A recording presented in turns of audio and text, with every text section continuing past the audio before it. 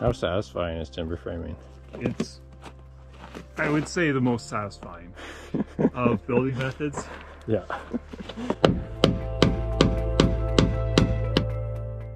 Welcome back for part two of the dry kiln series. This video will show a lot of the process involved in building this timber frame shed, which we're using as a hopper for our fuel in our dry kiln. So as I mentioned in part one, my goal is to eliminate wood waste, or more so, put our wood waste to good use. In anticipation of this build, I started chipping about a year ago. That pile of chips has since built up to the point where it's out of control, and that's really putting the pressure on me to finish this build. So without going into too much detail, I'll give you a recap of what we have so far. We've got a 40 foot long sea can, some fancy green machinery, and a cement footing. Now we need a shed adjacent to the sea can that will hold a decent supply of wood chips.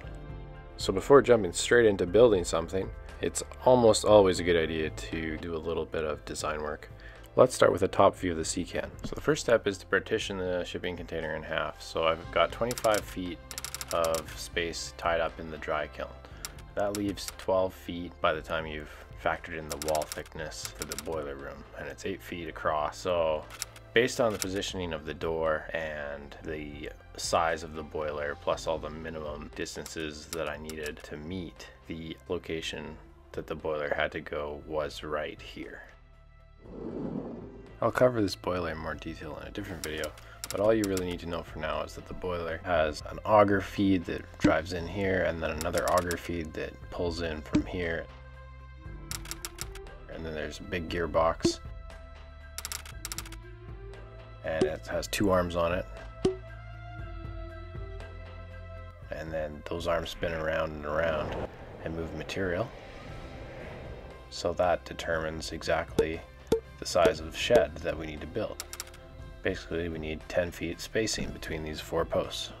Now at this point I could have just built a nice stick frame shed thrown it up but instead I decided to make it fancy. And I started throwing around timbers and maybe adding a few braces and then I read a timber framing book and I came up with my own design. At this point I've totally forgotten the only parameter that actually matters. That's that the walls are 10 feet apart. Besides overbuilding the whole shed, I did resolve a couple of issues by rotating the shed 90 degrees and then realizing that I had to offset all the joints in order to make the tenons work. And that's basically all the information that I needed to get started actually building this thing.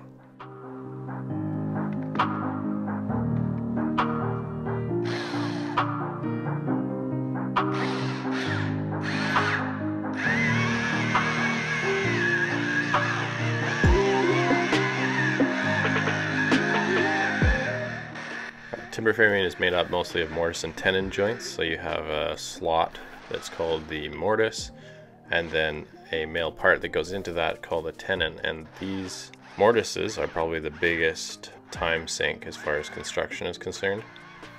Uh, they have a special tool for that called a chain mortisizer in timber framing, and I looked into the price tag of those and I was dissuaded from buying it. I'm using an auger bit in combination with a high torque electric drill that's achieving most of the material removed to a set depth and then I have to clean up that mortise with a chisel and I have a nice high quality inch and a half wide timber framing chisel. This basically eats up most of the time in the construction process.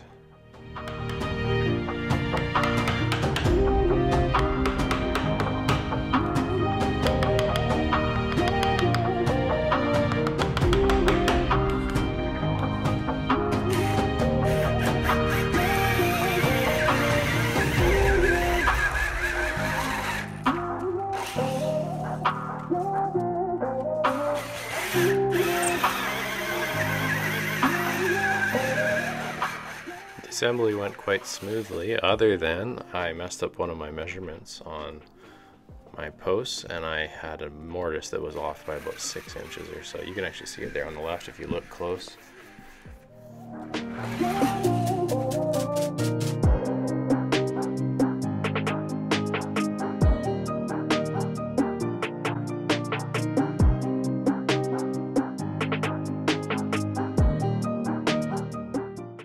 Upper cross members on the structure have a milled angle built into them so that all I had to do was chisel out a notch on the rafters and they would perch and set into the beams, I'm just using structural wood screws to secure them down. Looks like Mike already has a little warm-up station going here, little chip, wood chip burner. It's working pretty good.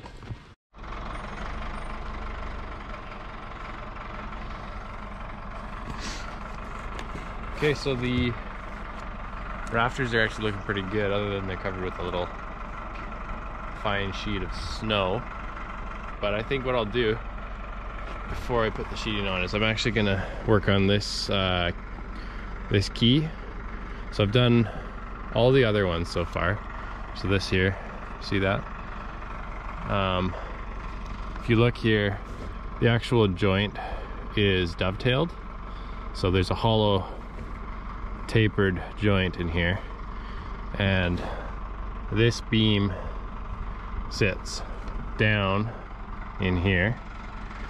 And then you add this key up here which is a tapered um, tapered one side and then flat piece of wood. And you pound it in here with the hammer.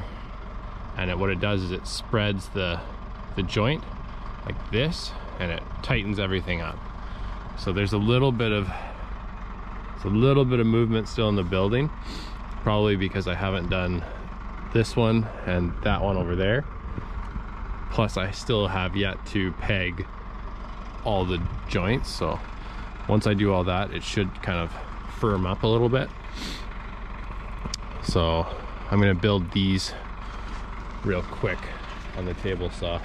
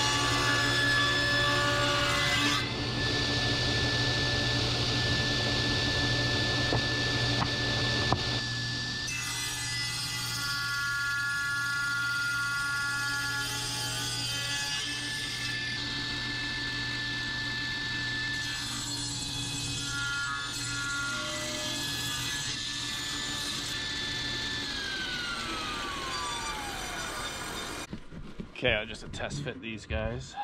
Should be tight. Oh yeah. A little too tight maybe. That's better. So I took care of this little edge here, so it should be a little bit closer to square. Snug is good though. Snug is good.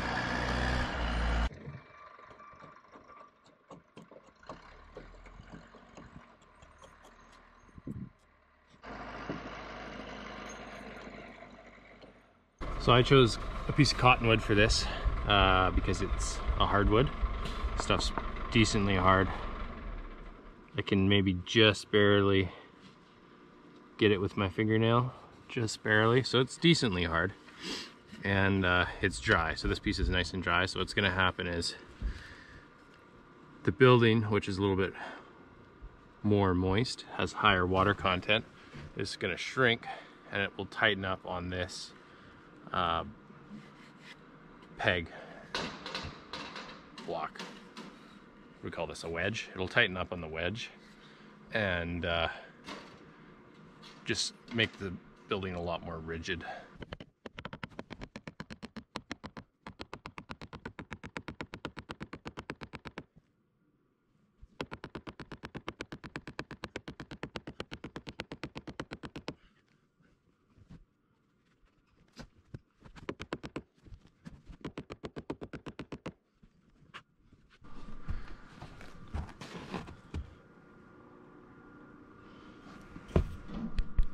This one's a little tighter. It's just Yeah, a little bit tight at the top. So what you can do in that situation is take your hammer and you just uh, you beat down this edge and kind of squish it squish some material and then uh, it should go in there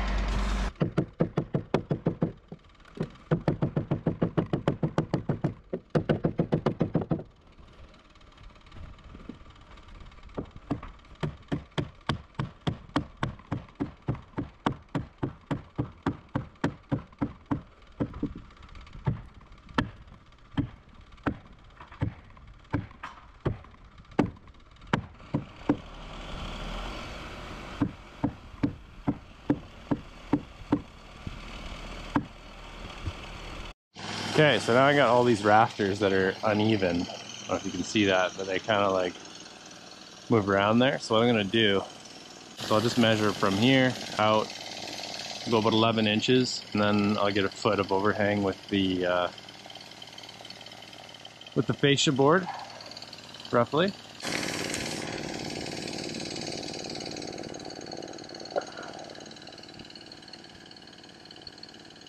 Let's try a foot, just see what that looks like.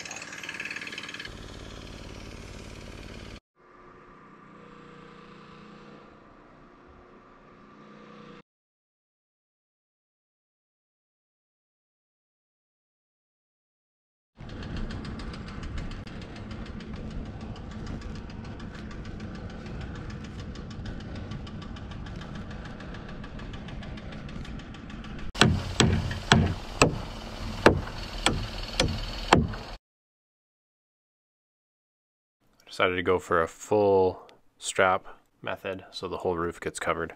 Makes it easier to walk on.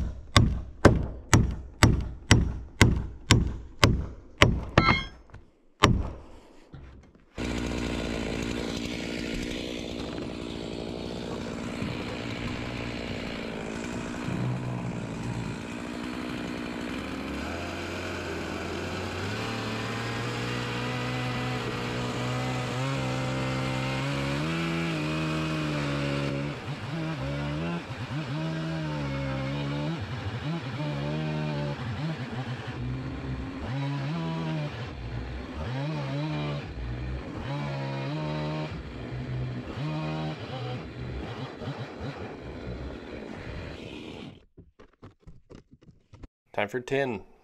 Actually, I don't recommend doing tin in the wind, but uh, it was going to rain or snow or something, and I didn't want to be up there after that trying to do tin with like ice on the roof. So I decided to get it done before the weather came in.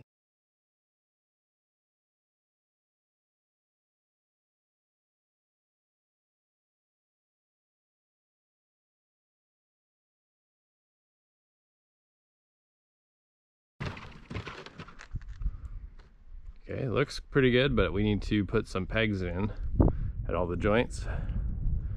And then I can take those straps off. Let's get to it. There's a deer right there.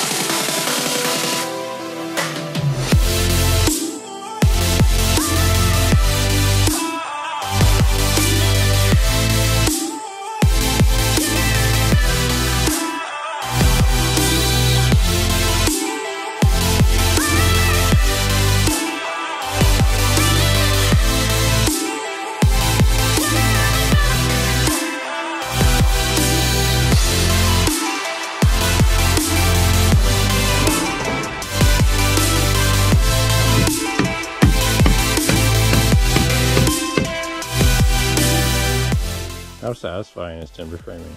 It's, I would say, the most satisfying of building methods. Yeah.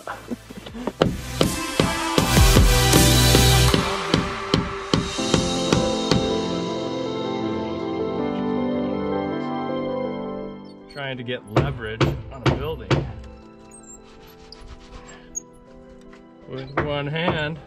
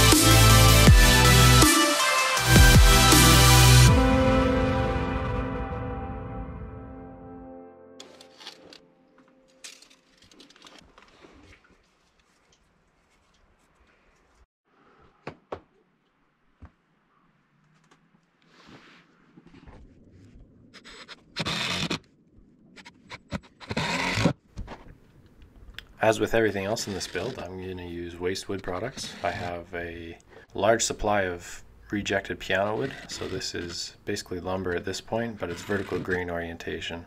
So it looks kind of neat if you put it in a siding. It's full two inch, but it's super green. So over the next couple of months, I expect it's going to shrink. So I'm trying to allow for that as I install it using short spans and smaller segments so the gaps aren't as noticeable. And then for the large sections of wall, I'm going to do floating walls so that the siding can shrink and then I can just fill it in with an extra plug at the top as it dries out.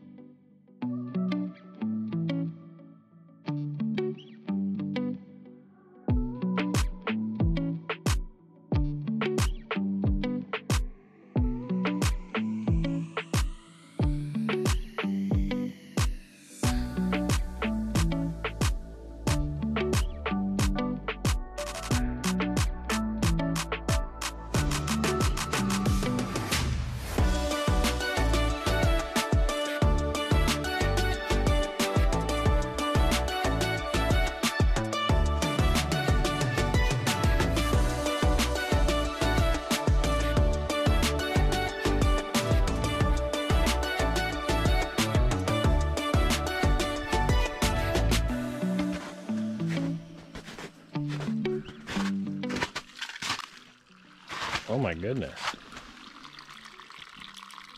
That's not good. I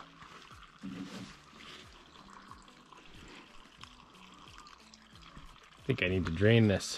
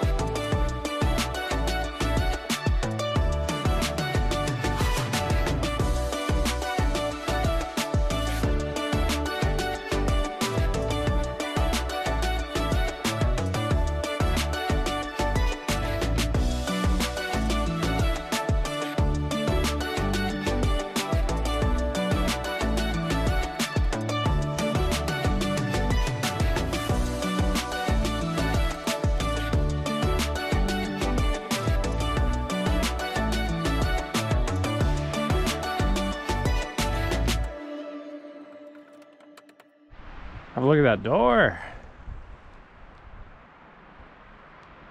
Barn door style. Looks pretty good.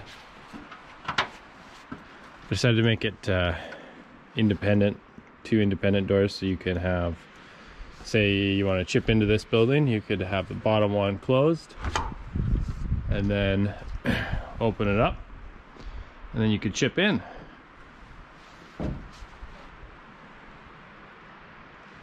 It's coming. Gotta fill all those holes at the bottom now. That's next.